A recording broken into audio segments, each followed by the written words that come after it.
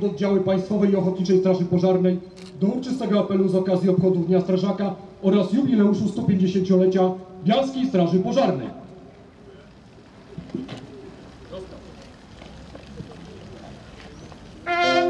Szanowni Państwo, w tym momencie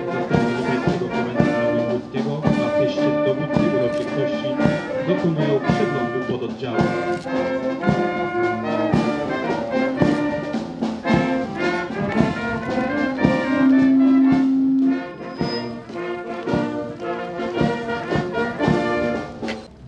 Podniesienia flagi państwowej marsz!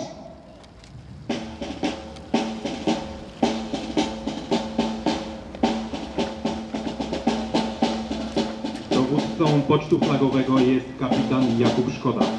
Flagowym starszy aspirant Dominik Marszu. Asystującym aspirant Damian Kokoszkiewicz.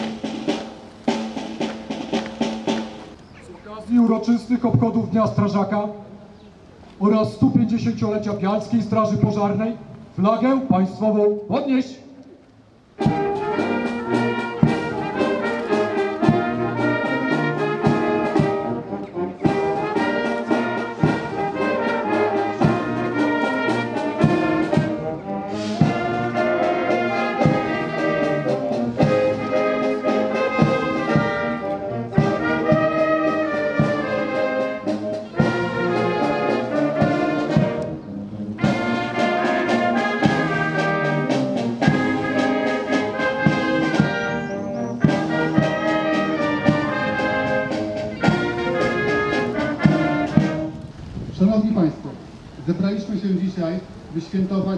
Świętować 150-lecie Bialskiej Straży Pożarnej. Straż Pożarna to przede wszystkim ludzie, dlatego proponuję, uczcijmy minutą ciszy pamięć wszystkich tych strażaków, którzy na przestrzeni milionów lat ją tworzyli. Wodo oddziału Baczność!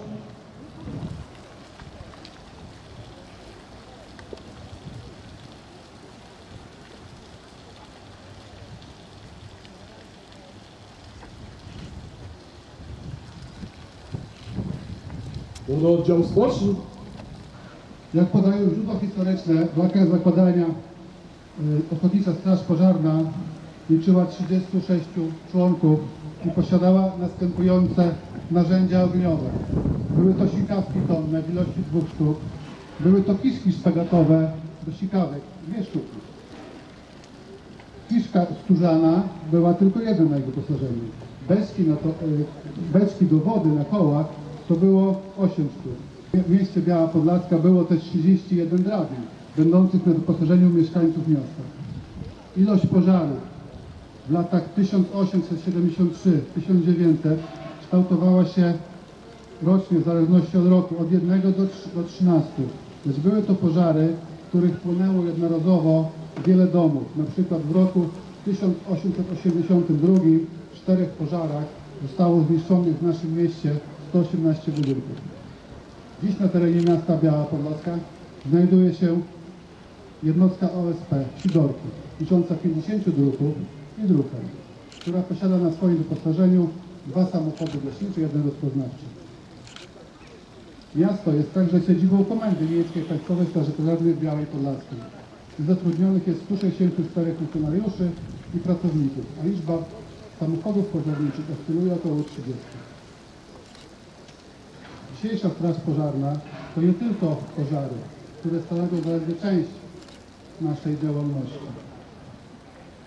Większą ich liczbę stanowią zwane miejscowe zagrożenia. Odznakę świętego Floriana za zasługi dla społeczności lokalnej. Odznakę otrzymują pan Romuald Murawski, pan Wiesław Panasiuk.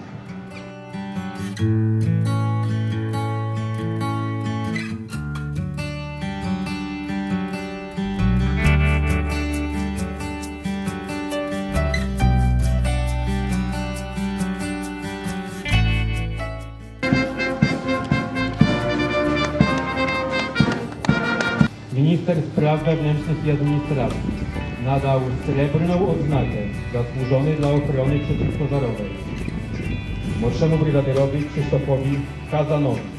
Brązową odznakę zasłużony dla ochrony przeciwpożarowej Odznakę otrzymują starszy kapitan Konrad Bojarczuk, Piotr Cuch, starszy ogniomistrz Krzysztof Kamiński, starszy ogniomistrz Artur Matusiewicz, starszy kapitan Mateusz Maleńczuk, starszy ogniomistrz Marek Oleszczuk, starszy ogniomistrz Aleksander Stasiak, starszy ogniomistrz Marek Wołosowicz.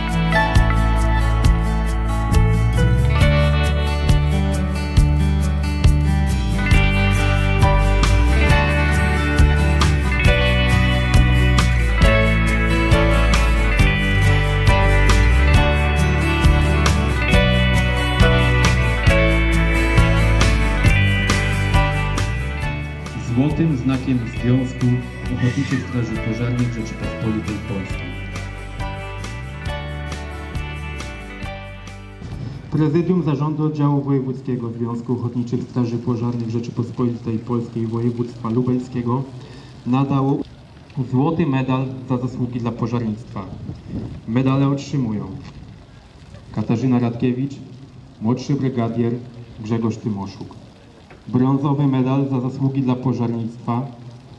Medal otrzymuje starszy aspirant Sebastian Bojarczuk. Nadało brązową odznakę za zasługi dla pożarnictwa województwa lubelskiego. Odznakę otrzymują aspirant Marcin Kazimierczak, starszy kapitan Paweł Urbańczuk, kapitan Mateusz Włodarczyk. Za bohaterski czyn, dyplom uznania oraz decyzję o przyznaniu nagrody pieniężnej otrzymuje ogniomistrz Jarosław Korolczuk. Boże nieskończonego miłosierdzia i niezmierzonego majestatu, żadna przestrzeń i odstęp czasu nie oddala Ciebie od tych, którymi się opiekujesz.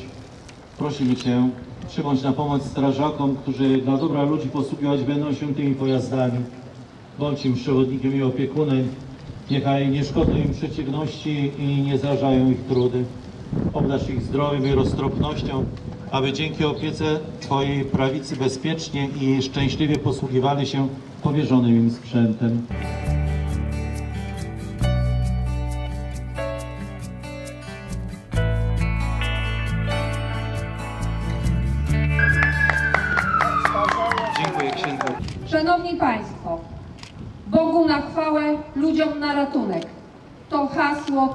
Słowa przyświecały kiedyś, są aktualne obecnie i w przyszłości również. Praca, a właściwie służba druhów i druhen strażaków była, jest i będzie obarczona ogromnym zagrożeniem, z narażeniem zdrowia i życia po to, aby ratować zdrowie i życie swoich sąsiadów, swoich lokalnych społeczności. Dziś świętujemy jubileusz, ale wśród nas nie ma tych, którzy tą pomoc przez wiele, wiele lat nieśli. Wasza praca, zaangażowanie, wasz wysiłek zasługuje na najwyższe uznanie i podziękowanie za to, że narażacie swoje życie, aby pomagać innym, aby też nieść ratunek ich mieniu, a czasami całemu dobytkowi, który, który zgromadzili w trakcie swojego całego życia. 150. rocznica Państwowej Straży Pożarnej Białej Podlaskiej. Jak powiedział ksiądz kapelan na kazaniu, chciałoby się więcej. Życzymy Wam jak najwięcej, abyście zawsze byli, żebyście zawsze byli na tym posterunku, żebyście zawsze byli gotowi do służby, do opieki nad nami, którzy tutaj żyją. Chciałem Wam serdecznie z tego miejsca podziękować za to, że narażacie swoje zdrowie, swoje życie, bardzo często jako strażacy zawodowi, a później jeszcze jako strażacy ochotnicy. Szanowni Państwo, wojewoda lubelski, pan Krzysztof Komorski skierował do organizatorów i wszystkich uczestników dzisiejszego jubileuszu list, który mam przyjemność i wielki honor odczytać. Szanowni Państwo, dziękuję za zaproszenie na uroczystość która stanowi niezwykle ważne dla społeczności lokalnej wydarzenie. Dzisiejsze spotkanie to wyjątkowa okazja do podsumowań dotyczących Waszej funkcjonariuszy i funkcjonariuszki służby na rzecz ochrony życia, zdrowia i mienia mieszkańców regionu. Wyrażam wdzięczność za trud i zaangażowanie, które charakteryzują pracę strażaków Państwowej Straży Pożarnej oraz Ochotniczej Straży Pożarnej.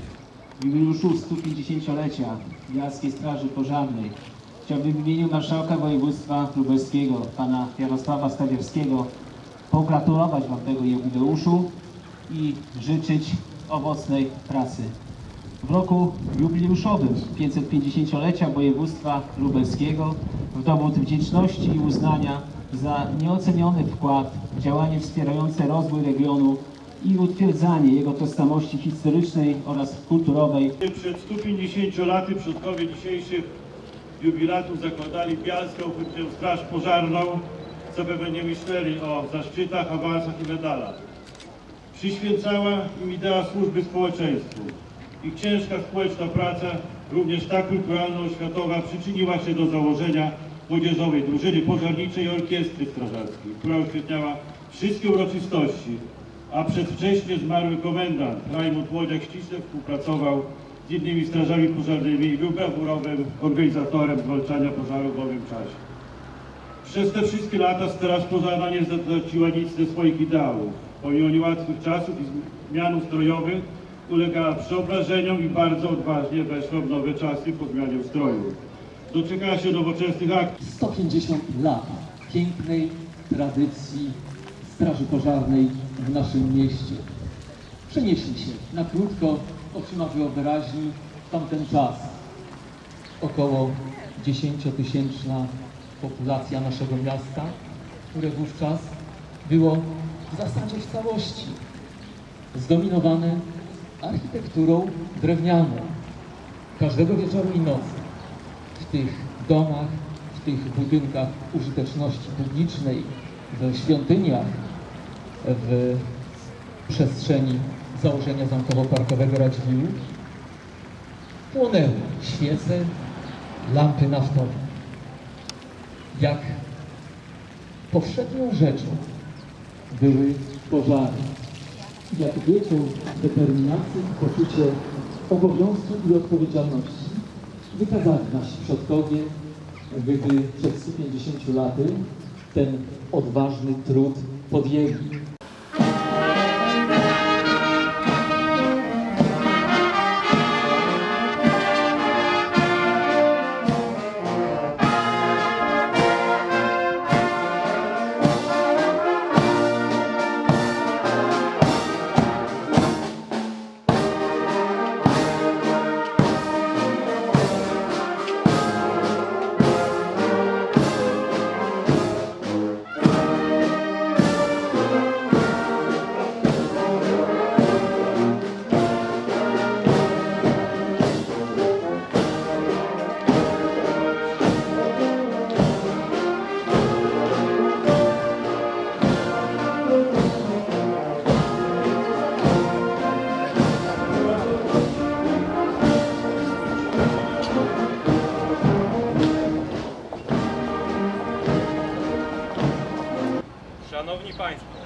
Zebraliśmy się pod dawnym domem strażaka, aby odsłonić pamiątkową tablicę ku czci tych, którzy od 150 lat tworzyli Bialską Straż Pożarną. 11 listopada 1927 roku w tym miejscu został poświęcony kamień węgielny pod budynek remizy, a 21 czerwca 1936 roku została otwarta i poświęcona strażnica Bialskiej Straży Pożarnej. W latach 1975-1987 remiza była siedzibą Komendy Wojewódzkiej i Komendy Rejonowej Straży Pożarnej.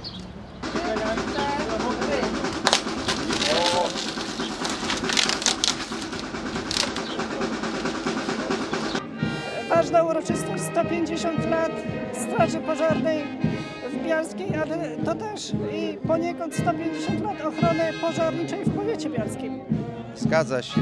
Rocznica symboliczna, ale też i można y, skok jakościowy, tak? Y, To nawet nie chodzi o 150 lat, ale ostatnie 20-30 lat, porównując wyposażenie naszej Straży Pożarnej, a porównując teraz, no to jest skok naprawdę cywilizacyjny.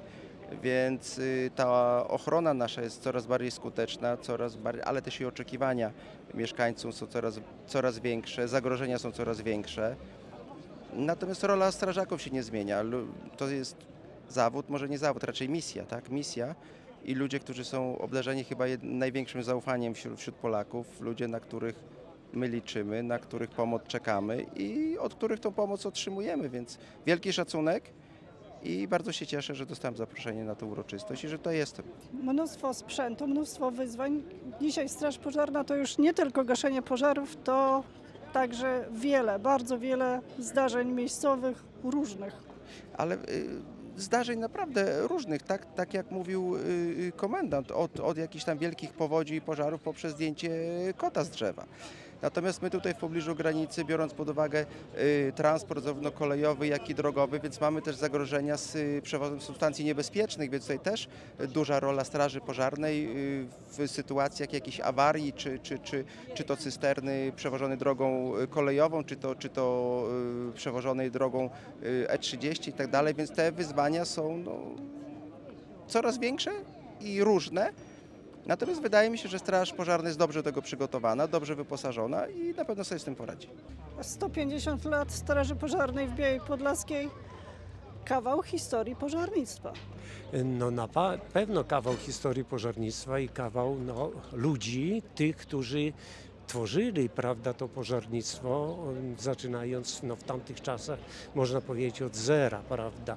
I można tylko teraz wyobrazić, jak trudne było im to, prawda, bo dzisiaj można powiedzieć, że my dostajemy to podane, a wtedy utworzyć to i nieść pomoc ludziom i w innych warunkach, bez takiego sprzętu jak dzisiaj, to trzeba podziwiać ich za to. Kiedyś drewniane domy, więc pożarów było mnóstwo. Jeden pożar paliło się wiele. Dzisiaj to się zmienia. Yy, Na pewno tak, już wtedy jak ja służyłem, a to było do 92 roku, bo w 92 w grudniu odszedłem na emeryturę, no to było tak, jeżeli zaczynało się palić na wsi, szczególnie na wsi, to paliło się nie jeden budynek, ale cały ciąg budynków.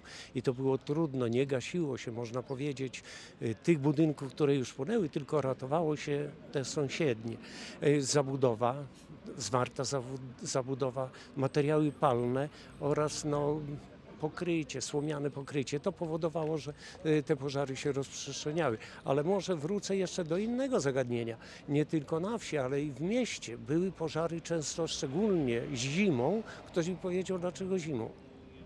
Przy Bożym Narodzeniu, choinki i świeczki, włos anielski. I tutaj myśmy jako pożarnicy, strażacy, no z niepokojem czekaliśmy tego wieczoru wigilijnego, jak zaczną się pożary, bo zamiast też świętować Wigilię wspólnie, to musieliśmy no niestety, ale jeździć do tych pożarów. Dzisiaj Straż Pożarna to nie tylko pożary, to także zagrożenia miejscowe, to nowe wyzwania, no i potrzebny sprzęt.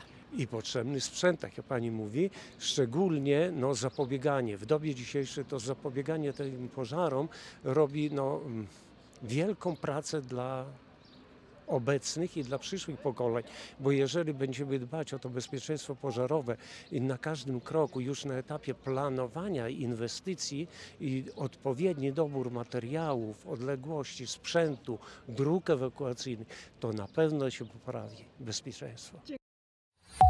thank you